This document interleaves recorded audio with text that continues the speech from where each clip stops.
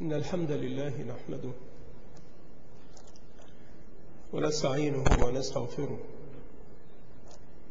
ونعوذ بالله من شرور أنفسنا ومن سيئات أعمالنا.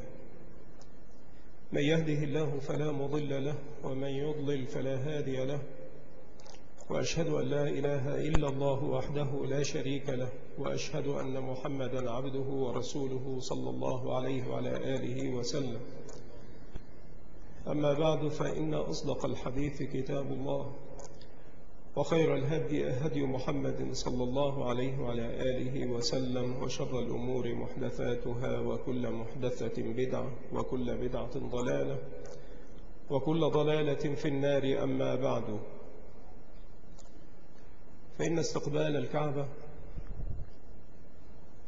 ركن من أركان الصلاة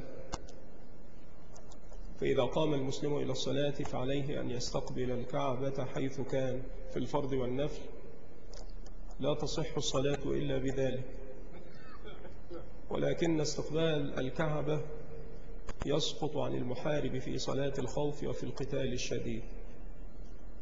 وكذلك يسقط الاستقبال عن العاجز عنه كالمريض أو من كان في السفينة أو السيارة أو الطائرة إذا خشي خروج الوقت. ويسقط أيضا عمن كان يصلي نافلة أو وترا وهو يسير راكبا دابة أو غيرها ولكن يستحب له إذا أمكن أن يستقبل بالدابة القبلة عند تكبيرة الإحرام ثم يتجه بها حيث كانت وجهته. ويجب على من كان معينا للكعبة مشاهدا لها أن يستقبل عينها أي ذاتها. وأما من كان غير مشاهد لها فيستقبل جهتها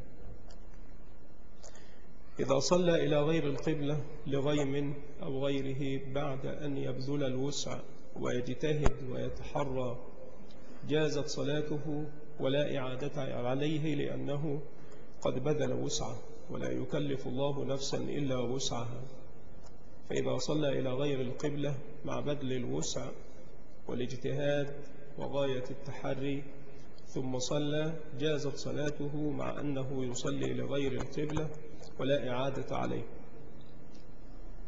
وإذا كان يصلي بعد الاجتهاد والتحري إلى غير القبلة فجاءه من أخبره وهو يصلي بجهة القبلة فعليه أن يبادر إلى استقبال القبلة وصلاته صحيحة مع أنه صلى ما صلى قبل أن يخبره من أخبر عن خطئه في استقبال القبلة صلى قدرا من الصلاة وجزءا منها إلى غير القبلة ولكن صلاته صحيحة.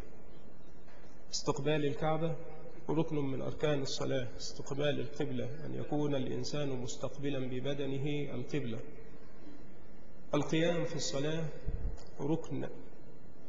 فيجب على الإنسان أن يصلي قائما. تكبيرة الإحرام ركن والقيام لها ركن. ولذلك تجد أحيانا بعض الصراع الذين يأتون إلى المسجد والإمام راكع فيأتي بتكبيرة واحدة. لا يكبر تكبيرة للإحرام من قيام ثم يكبر تكبيرة الانتقال ويركع ولكن لأنه متسرع. يريد أن يدرك الركعة مع الإمام يأتي بتكبيرة واحدة ويأتي بها من غير قيام في كثير من الأحيان. يعني يأتي بها وهو راكع. يقول الله أكبر فتجده راكعا. والأصل أن يدخل الصلاة بالتحريمة يعني بتكبيرة الإحرام التي تحرم في الصلاة الأقوال والأفعال التي ليست من الصلاة. فكثير من السراع يقعون في هذا الخطأ الفادح لأنه يأتي بهذه التكبيرة. إن كانت هي تكبيرة الإحرام فقد أتى بها من غير قيام. والقيام لتكبيرة الإحرام عند القدرة أمر لا بد من أن يتوفر لأنه ركن في حد ذاته في الصلاة. فإذا أتى بتكبيرة الإحرام من غير قيام بطلت صلاته. وإذا كان الذي أتى به هو تكبيرة الانتقال فأين تكبيرة الإحرام؟ فالقيام في الصلاة يصلي قائما يجب عليه ذلك والقيام ركن إلا في حالات كالمصلي صلاة الخوف وفي القتال الشديد فيجوز له أن يصلي راكبا لا قائما وكذلك المريض العاجز عن القيام يصلي جالسا إن استطاع وإلا فعلى جنب.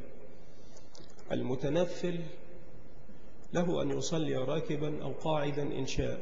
ويركع ويسجد إيماء برأسه وكذلك المريض ويجعل سجوده أخفض من ركوعه إذا لم يستطع أن يمس بجبهته الأرض فيجعل السجود أخفض من الركوع. ولا يجوز للمصلي جالسا أن يضع شيئا أمامه كوسادة مثلا من أجل أن يجعل جبهته وأنفه عليها في حال السجود. فيجعل ذلك مرفوعا ليسجد عليه وإنما يجعل سجوده أخفض من ركوعه إذا كان لا يستطيع أن يباشر الأرض بجبهته. والصلاة في السفينة والطائرة جائزة لا شيء فيها وله أن يصلي فيها قاعدا إذا خشي على نفسه السقوط ويجوز أن يعتمد في قيامه على عمود أو عصا لكبر سنه أو ضعف بدن ويمكن أن يجمع بين القيام والقعود في صلاة الليل بدون عذر. يصلي ويقرأ جالسا وقبيل الركوع يقوم فيقرأ ما بقي عليه من الآيات قائما ثم يركع ويسجد ثم يصنع مثل ذلك في الركعة الثانية. إذا صلى جالسا فالسنة أن يجلس متربعا. إلا إذا كان لا يستطيع أو يشق عليه أن يصلي متربعا يعني أن يجلس متربعا فعلى أي جلسة أخرى يستريح بها ولا حرج عليه. ويجوز أن يصلي من غير شيء في رجليه حافية وأن يصلي أيضا متنعلا. والأفضل أن يصلي تارة هكذا وتارة هكذا حسب ما تيسر له. فلا يتكلف أن يلبس النعلين للصلاة إذا كان يمكن أن يصلي حافيا وكذلك لا يتكلف أن ينتعل إذا ما أمكن أن يصلي حافيا ولا أن يصلي حافيا إذا أمكن أن يصلي منتعلا. ولكن على حسب ما يكون هنالك من أمر يسره الله. إذا خلعن عليه لا يضعهما عن يمينه ولكن يضعهما عن يساره. إلا إذا كان هنالك من يصلي على يساره. فإذا كان هناك من يصلي فإنه يجعل عليه بين رجليه ولا يجعل عليه في قبلته يصلي إليهما. وهذا أدب أغفله كثير من جماهير المسلمين يجعلون نعالهم في قبلتهم يصلون إلى نعالهم. إذا لم يمكن فليجعل نعليه بين رجليه. كان النبي صلى الله عليه وسلم كما ثبت عنه يصلي على المنبر للتعليم أحيانا فكان يقف على المنبر صلى الله عليه وسلم لكي يراه أصحابه البعيد كالقريب على السواء. فكان يصلي متجها إلى القبلة وكان ظهره الشريف صلى الله عليه وعلى آله وسلم إلى أصحابه يصلي وهم يرون ما يصنع في الصلاة. فإذا جاء السجود رجع القهطرى يعني يرجع إلى الخلف متقهقرا حتى يسجد في أصل المنبر. فإذا فرغ من السجود قام فصعد المنبر فأتى في الركعة الثانية كما فعل في الأولى يعلم. فهذا جائز لا شيء فيه أن يكون الإمام على شيء مرتفع وأن يعلم الناس حتى يروا هذا الأمر. وفي هذا دلالة على سبق الإسلام العظيم. ولكن لا نقول هذا الإسلام لا يقارن بشيء. منهج الإسلام في التعليم والأخذ بالمسائل العملية في التعليم بل أحيانا اتخاذ الوسائل التعليمية كما كان يفعل النبي صلى الله عليه وعلى آله وسلم وانتهاز ما يعن أو يعرض أو يظهر في الحال في أثناء الجلسة التي يقع فيها التعليم ما يكون هنالك من أجل لفت المتعلم لما سيلقى إليه من المسائل كما فعل النبي صلى الله عليه وسلم عندما سأل عن الشجرة التي هي كمثل المؤمن. وبين يديه جمار يأكل منه صلى الله عليه وعلى آله وسلم. يجب أن يصلي المصلي إلى سترة. يجعل بين يديه سترة لا تقل عن شبر أو شبرين. لا يكون أوطأ من ذلك ولا أقصر منه. فيصلي إلى أسطوانة المسجد إلى الحائط. المهم أن يجعل بينه وبين من يمر بين يديه سترة. ولا يقف يصلي هكذا مطلقا وإنما يجعل السترة وهذه السترة واجبة ويدنو منها بحيث يكون بينه وبين السترة ممر شاه. إذا مر إنسان بعد موطن سجوده يعني بعد سترته فلا شيء عليه.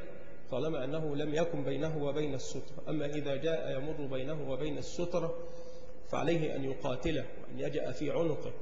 فإنما هو شيطان. وفي الرواية الثانية فإنما معه القرين فليقاتله وليجأ في عنقه كما قال الرسول صلى الله عليه وعلى آله وسلم ولا يدعه يمر بينه وبين سترته. هذا الأمر مهم جدا حتى في البيوت. لأن النبي صلى الله عليه وسلم أخبر أن المرأة الحائض يعني التي بلغت المحيض إذا مرت بين المصلي وسترته أو مرت بين يدي المصلي الذي لم يتخذ سترة وهو يصلي فإنها تقطع صلاته وكذلك الحمار والكلب الأسود. فاتخاذ السترة واجب ينبغي على المصلي أن يلتفت إليه. المرور بين يدي المصلي من أكبر الذنوب. والنبي صلى الله عليه وعلى آله وسلم أخبر أن الإنسان لأن يظل قائما أعواما ذوات عدد حتى يفرغ المصلي من صلاته ولا يمر بين يديه فإن ذلك يكون أهون عليه. وللمصلي والمار بين يديه حالات فأحيانا يكون الإثم على المصلي وحده ويكون الإثم أحيانا على المار وحده ويكون الإثم أحيانا على المار والمصلي معا وأحيانا لا يكون إثم لا على المار ولا على المصلي. إذا كان في المسجد مكان يمكن أن يصلي فيه المصلي فترك ذلك ووقف يصلي في ممر الناس بحيث إنه لا يستطيع الداخل أن يدخل المسجد. إلا إذا مر بين يديه فإن الإثم في هذه الحالة على المصلي وحده والمار لا شيء عليه. وإذا ما اتخذ المصلي سترة ودخل من دخل المسجد ومر بين يدي المصلي وعنده المتسع ألا يمر بين يديه فالإثم في هذه الحالة على المار وحده. وإذا وقف المصلي يصلي في مكان هو ممر للناس ولكن هنالك عوض عنه بحيث إن الإنسان يمكن ألا يمر بين يديه وإن أساء الوقوف. فأصر على أن يمر بين يديه فالإثم عليهما معا. وأما إذا وقف في ممر الناس ووجد الزحام ولم يجد إلا ذلك المكان بحيث لا يجد غيره والداخل أو المار لا يجد ممرا غيره فلا إثم لا على هذا ولا على هذا. ترتفع السترة بمقدار شبر أو شبرين عن الأرض ويتوجه إلى السترة مباشرة ويصمد إليها صمدا ولا ينحرف عنها يمينا وشمالا كما يفعل كثير من الذين يصلون إلى الأعمدة والإسطوانات في المسجد فإنهم ينحرفون عنها يمينا أو يسارا وإنما يصمد إليها صمدا.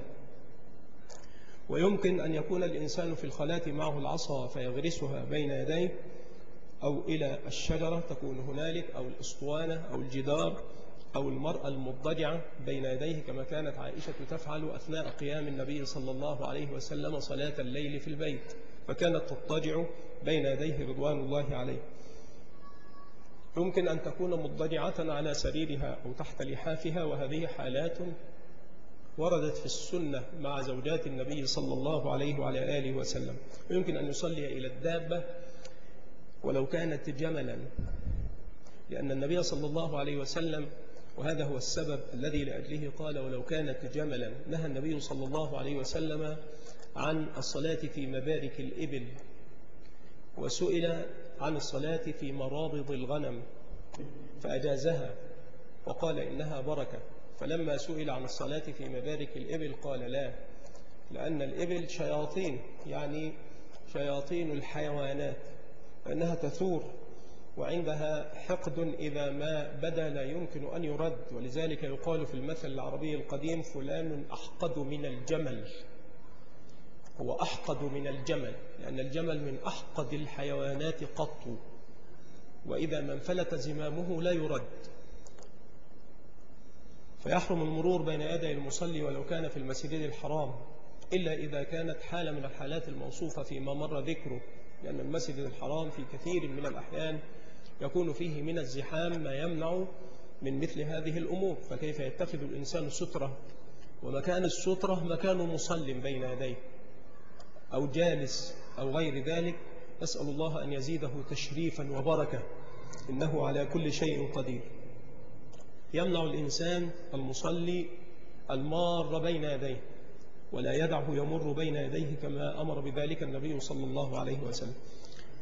إذا صلى أحدكم إلى شيء يستره من الناس فأراد أحد أن يجتاز أن يمر بين يديه فليدفع في نحره وليدرأ ما استطاع. وفي رواية فليمنعه فليمنعه. قالها مرتين فإن أبى فليقاتله فإنما هو شيطان. فلا يدع أحدا يمر بين يديه في أثناء الصلاة خاصة إذا اتخذ الستر. بل يجوز أن يمشي إلى الأمام حتى يمر طفل غير مميز أو دابة تكون هنالك تمر من ورائه ولا تمر بينه وبين سترته. حتى إن النبي صلى الله عليه وسلم كان يمضي إلى الأمام ماشيا صلى الله عليه وسلم حتى يلتصق بطنه بسترته صلى الله عليه وعلى آله وسلم لتمر الشاة من خلفه صلى الله عليه وسلم. يقطع الصلاة المرأة البالغة أي المرأة الحائض يعني التي بلغت المحيض لا أن تكون في حال مرورها بين يدي المصلي في حالة حيض ولكن المرأة التي بلغت المحيض. سواء كانت في حال حيض أم كانت في حال طهر. إذا مرت بين يدي المصلي بعد أن بلغت يعني بعد أن أدركت يعني بعد أن رأت الدم يعني بعد أن بلغت المحيض إذا مرت بين يديه قطعت عليه صلاته. ينوي الصلاة التي قام إليها ويعينها بقلبه كفرض الظهر أو العصر أو سنة الظهر أو سنة العصر مثلا يحدد ولا يجهر بذلك ولا يلفظ به فإن الجهر بالنية وإن التلفظ بها بدعة ضلالة. يكبر يستفتح الصلاة بتكبيرة الإحرام الله أكبر. وهذا ركن لأن مفتاح الصلاة الطهور وتحريمها التكبير وتحليلها التسليم. لا يرفع صوته بالتكبير في كل الصلوات إلا إذا كان إماما.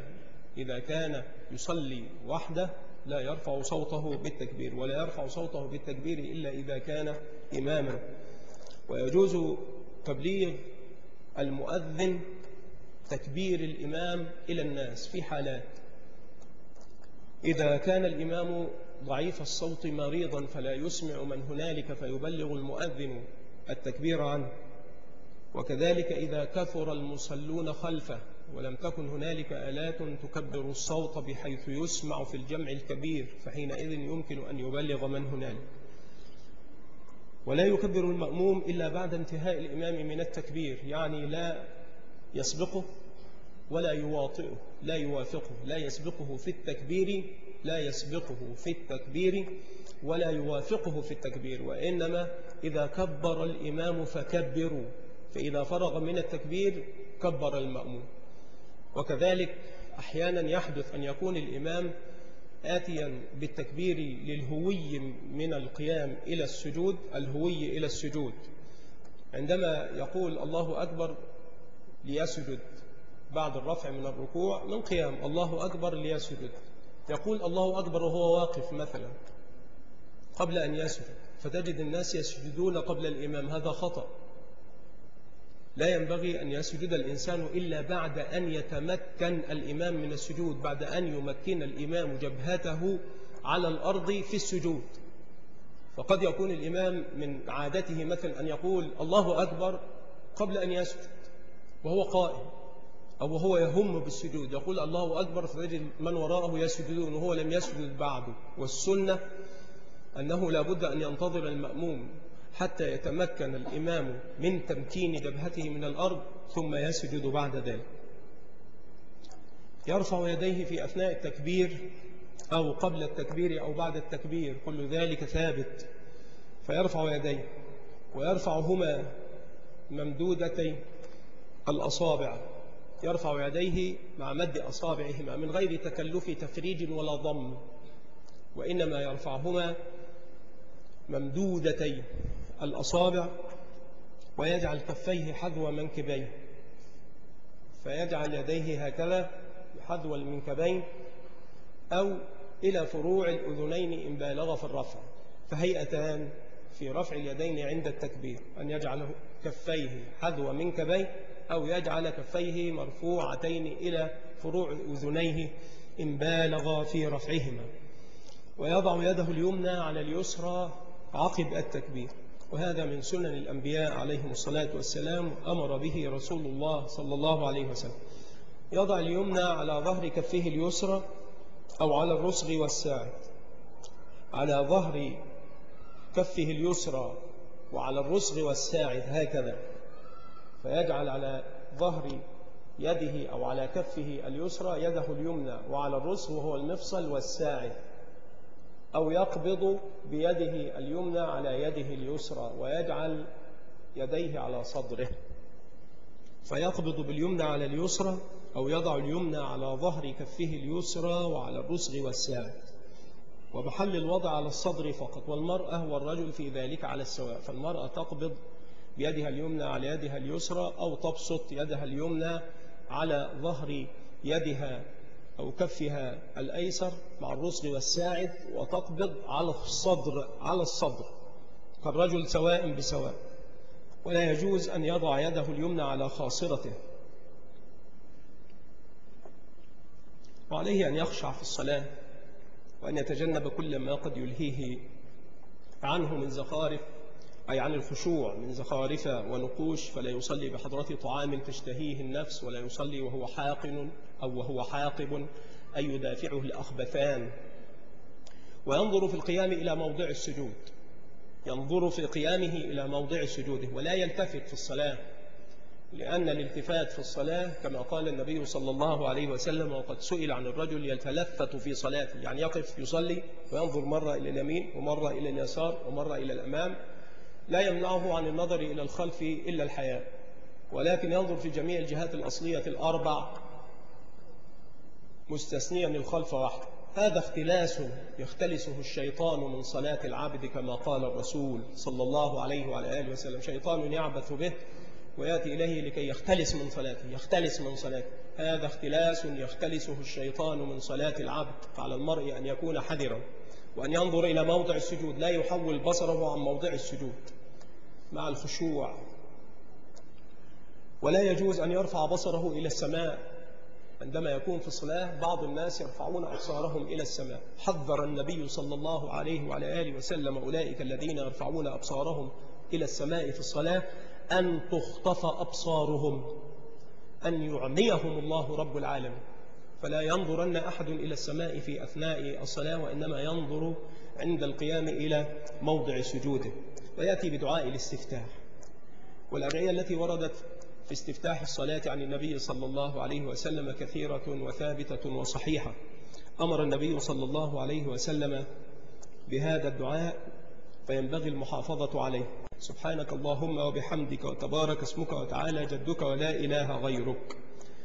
دعاء الاستفتاح بعد تكبيرة الإحرام ووضع اليدين على الصدر على الهيئة المعروفة مع الخشوع وإرسال البصر إلى موضع السجود ويأتي بدعاء الاستفتاح.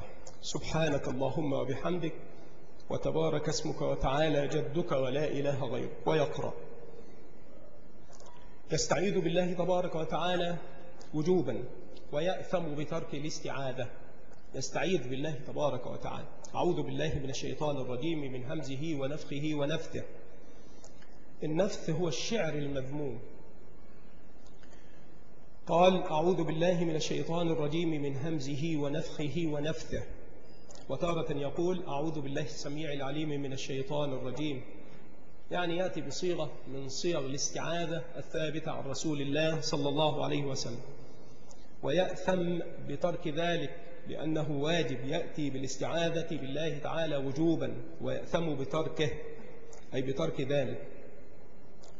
بعد أن يأتي بالاستعاذة أعوذ بالله من الشيطان الرجيم من همزه ونفخه ونفثه يأتي بالبسملة في سره. بسم الله الرحمن الرحيم.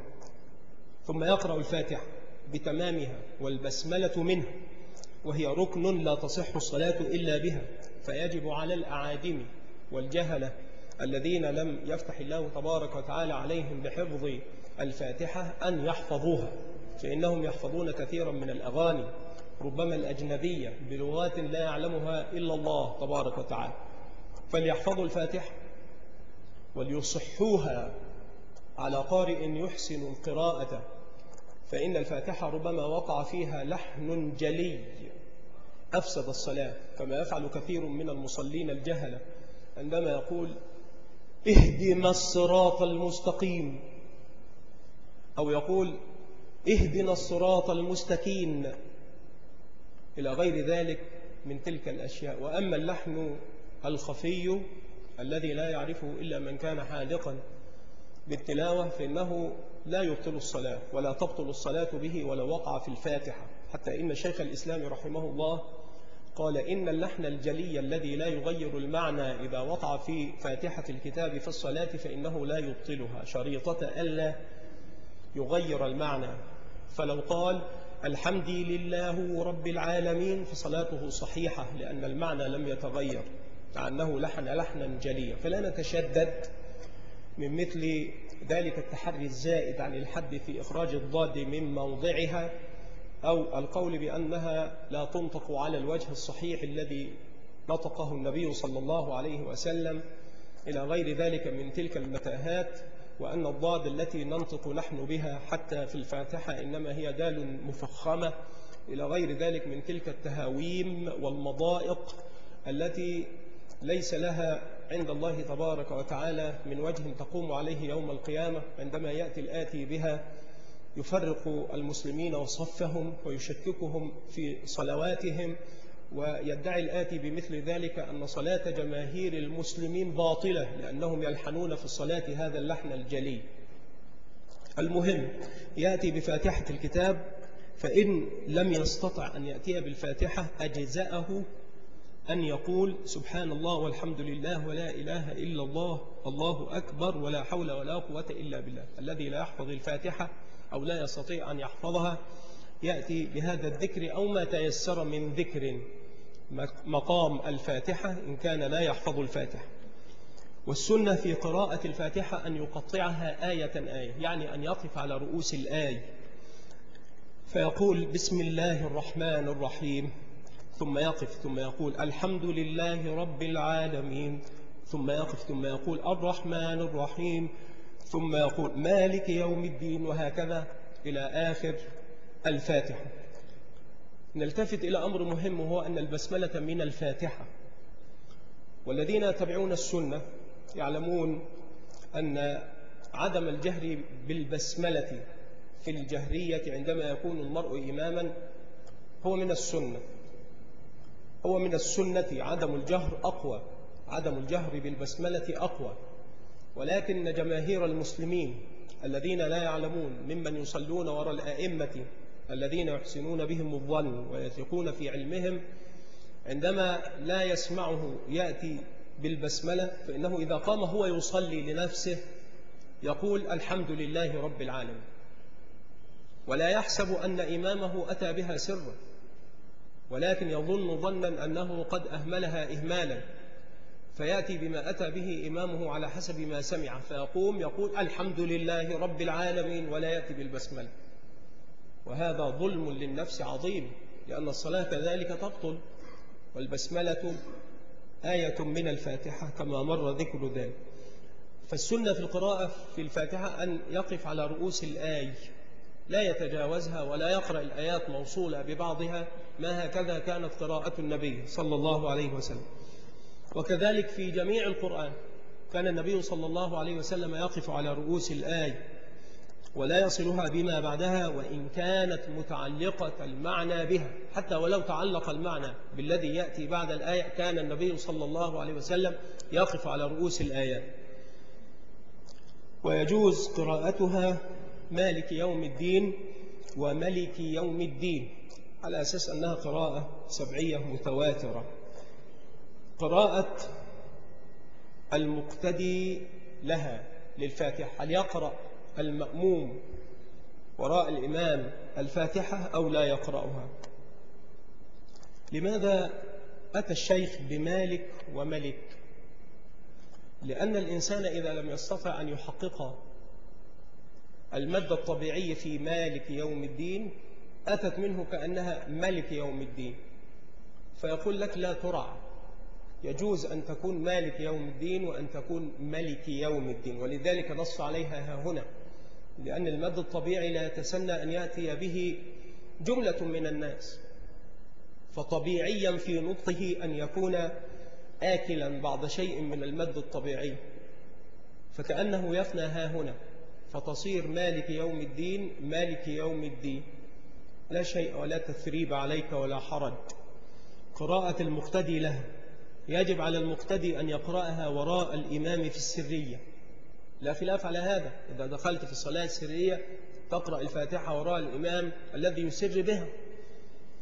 وفي الجهرية أيضا إن لم يكن يسمع قراءة الإمام أو سكت هذا الإمام بعد فراغه منها سكتة ليتمكن فيها المقتدي من قراءتها. وإن كنا نرى أن هذا السكوت بدعة ولم يثبت في السنة ولكن لن يكون موتا وخراب ديار. وهو أتى به أتى بالسكوت فماذا نصنع؟ وقع في البدعة ماذا نصنع له؟ قرأ الفاتحة وسكت لكي يقرأ الناس. اقرأ. فإذا في الجهرية لأن الشيخ يذهب إلى نسخ قراءة المأموم الفاتحة وراء الإمام في الجهرية ويذهب إلى هذا. فقال تقرأ في الجهرية إن لم يسمع قراءة الإمام. أو سكت هذا بعد فراغه منها سكتة ليتمكن فيها أي في السكتة المقتدي أي المأموم من قراءة الفاتحة. قال وإن كنا نرى أن هذا السكوت لم يثبت في السنة. القراءة بعد الفاتحة. يسن أن يقرأ بعد الفاتحة سورة أخرى حتى في صلاة الجنازة حتى في صلاة الجنازة على عكس الشائع. من أنه يقرأ بعد التكبيرة الأولى في الجنازة الفاتحة من غير سورة. أو يأتي ببعض الآيات في الركعتين الأوليين. ففي الصلاة في كل ركعتين أوليين منها فاتحة وسورة أو فاتحة وما تيسر من الآيات بعقب الفاتحة. ويطيل القراءة بعد الفاتحة أحيانا ويقصرها أحيانا. لعارض سفر أو سعال أو مرض أو بكاء صبي. فكان النبي صلى الله عليه وسلم إذا سمع بكاء صبي خفف في الصلاة رحمة بأمه صلى الله عليه وسلم. وتختلف القراءة باختلاف الصلوات أيضا. القراءة في صلاة الفجر أطول منها في سائر الصلوات الخمس ثم الظهر ثم العصر والعشاء ثم المغرب غالبا. والقراءة في صلاة الليل أطول من ذلك كله يعني في القيام في التراويح في صلاة الليل. تكون القراءة أطول ما يكون ولذلك سمي قياما. أهو قيام فقط؟ يعني عندما نصلي نحن نصلي القيام. هل هو قيام؟ نحن نقوم ونركع ونسجد ونجلس ونتشهد. هو صلاة ولكن لماذا سمي قياما؟ لأن أبرز ركن فيه هو القيام. أبرز ركن في صلاة الليل قيامها. ولذلك يقال قيام الليل لأنه يطيل القيام جدا صلى الله عليه وعلى آله وسلم. والسنة إطالة القراءة في الركعة الأولى أكثر من الثانية وأن يجعل القراءة في الأخريين أقصر من الأوليين قدر النصف. قراءة الفاتحة في كل ركعة تجب قراءة الفاتحة في كل ركعة ويسن الزيادة عليها في الركعتين الأخريين أيضا أحيانا. يعني يمكن أن تقرأ في الثالثة وفي الرابعة فاتحة وصورة أيضا. ولا تجوز إطالة الإمام للقراءة بأكثر مما جاء في السنة فإنه يشق بذلك على من قد يكون وراءه من كبير مسن أو مريض أو امرأة لها رضيع أو على ذي حاجة. ويجهر بالقراءة في صلاة الصبح والجمعة والعيدين والاستسقاء. والكسوف والأوليين من صلاة المغرب والعشاء ويسر بالقراءة في صلاة الظهر والعصر وفي الثالثة من صلاة المغرب وفي الأخريين من صلاة العشاء. ويجوز للإمام أن يسمعهم الآية أحيانا في الصلاة السرية يعني وهو يقرأ يمكن أن يرفع صوته شيئا لا على سبيل إسماع الجميع ولكن يمكن أن تسمع الآية التي يقرأها الإمام في الصلاة السرية وهو يصلي صلاة سرية. وأما الوتر وصلاة الليل فيسر فيهما تارة ويجهر تارة ويتوسط في رفع الصوت كما أمر النبي صلى الله عليه وسلم عمر ومر عليه يصلي فقال دون هذا دون هذا قليلا. يعني خفض صوتك قليلا. ومر على أبي بكر وكان أسيفا خفيض الصوت فقال فوق هذا قليلا. فأتى بالأمر على الوسط صلى الله عليه وعلى آله وسلم. والسنة أن يرتل القرآن ترتيلا لا هذا ولا عجلة بل قراءة مفسرة حرفا حرفا ويزين القرآن بصوته ويتغنى به في حدود الأحكام المعروفة عند أهل العلم بالتجويد ولا يتغنى به على الألحان المبتدعة. ولا على القوانين الموسيقية مثلما يفعل كثير من الأئمة يرقصون المدود ترقيص المد. إلى غير ذلك من تلك الأشياء التي هي معيبة جدا لأنها تشمل القرآن العظيم. ويشرع للمقتدي أن يتقصد الفتح على الإمام إذا أرتج عليه في القراءة ولكن لا يعجل عليه. وألا يتناوب المصلون على الفتح على الإمام بل يكون هنالك واحد يتولى مسألة الفتح على الإمام إذا أرتج عليه إلا إذا كان هو قد وهم أيضا أو أخطأ فيصوب له من هنالك. فإذا فرغ من القراءة سكت سكتة لطيفة بقدر ما يتراد إليه نفسه ثم يرفع يديه على الوجوه المتقدمة في تكبيرة الإحرام. بعد أن يفرغ من القراءة قراءة السورة أو الآيات يريد أن يركع يسكت سكتة لطيفة ثم يرفع يديه حذو منكبيه أو إلى فروع أذنيه على أي واحدة منهما ويكبر للانتقال وهو واجب ثم يركع بقدر ما تستقر مفاصله ويأخذ كل عضو مأخذه وهذا ركع بعض الناس عندما يركع يثني هذا المفصل في ركوعه. والأصل أن يكون ممدودا لكي يكون ظهره مشدودا وأن تكون رأسه بحذاء ظهره. وقال الفقهاء قديما بحيث إنه لو وضع عليه ماء منسكب ولا سال يعني يستقر لاستقرار ظهره مع رأسه لا أن يرفع رأسه هكذا فوق مستوى ظهره ولا أن يخفضها حتى يجعل ذقنه في صدره ولكن يجعل رقبته مع مؤخر رأسه مع ظهره شيئا واحدا. ثم يقبض بيديه يقبض بيديه على ركبتيه. يركع بقدر ما تستقر مفاصله ويأخذ كل عضو ما أخذه. وهذا ركن هذا الاستقرار في الركوع ركن في حد ذاته. فإذا ركع ثم قام في لمحة البصر أو برقة البرق الخاطف خطفة البرق الخاطف فما ركع ولا صلى. فعليه أن تستقر مفاصله في حال الركوع. يضع يديه على ركبتيه ويمكنهما من ركبتيه ويفرج بين أصابعه كأنه قابض على ركبتيه. وهذا كله واجب يمد ظهره ويبسطه حتى لو صب عليه الماء لاستقر وهو واجب. ولا يخفض رأسه ولا يرفعه ولكن يجعله مساويا لظهره ويباعد مرفقيه عن جنبيه.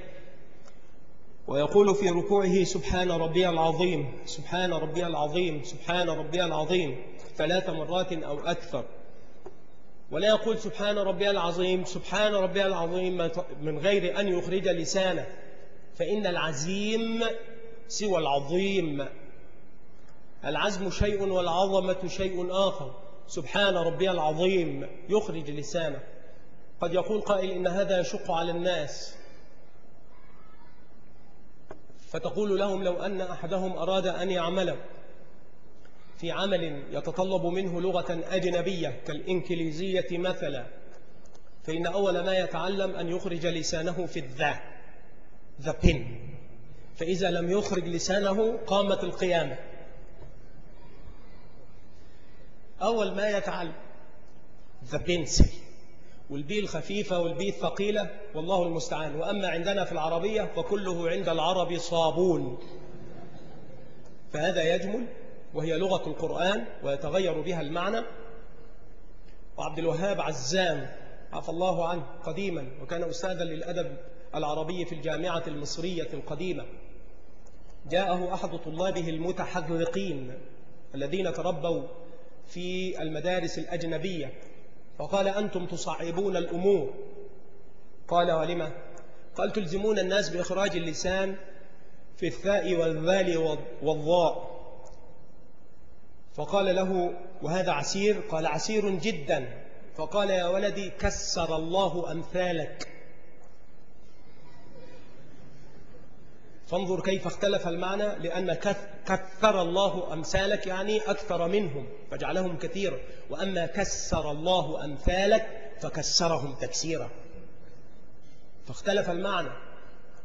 فهذه الأمور ينبغي على الإنسان أن يتأمل فيها لأنها أمور مهمة جدا في الشريعة. لكل شيء قانونه. يقول سبحانه ربي العظيم. ويسوي وهي السنة بين الأركان في الطول فيجعل ركوعه وقيامه بعد الركوع وسجوده وجلسته بين السجدتين قريبا من السواء. ولا يجوز أن يقرأ القرآن في الركوع ولا في السجود. لا يقرأ القرآن لا في الركوع ولا في السجود. الاعتدال من الركوع. يرفع صلبه من الركوع وهذا ركن. ويقول في أثناء الاعتدال سمع الله لمن حمده وهذا واجب. بعض الناس لا يعتدل من الركوع يعني يقوم نصف قومه ثم يهوي ساجدا. هذا خطأ تبطل به الصلاة لابد أن يقيم صلبه من الركوع. بعد الركوع سمع الله لمن حمده ويقيم صلبه إلا إذا كان هنالك مرض يمنعه من قيام صلبه فهذا شيء آخر. ويرفع يديه عند الاعتدال على الوجه المتقدم يرفع يديه ممدودتي الأصابع. حذو المنكبين أو إلى فروع الأذنين.